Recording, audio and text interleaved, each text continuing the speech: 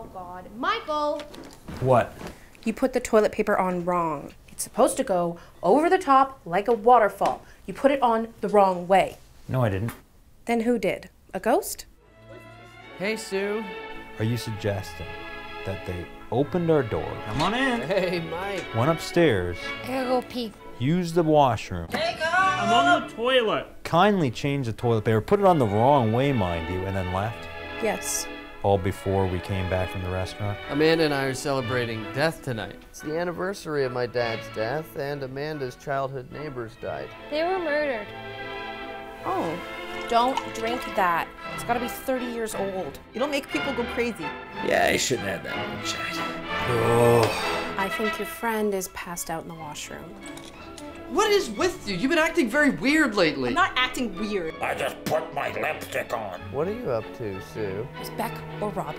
One of them used the bathroom. It was probably you.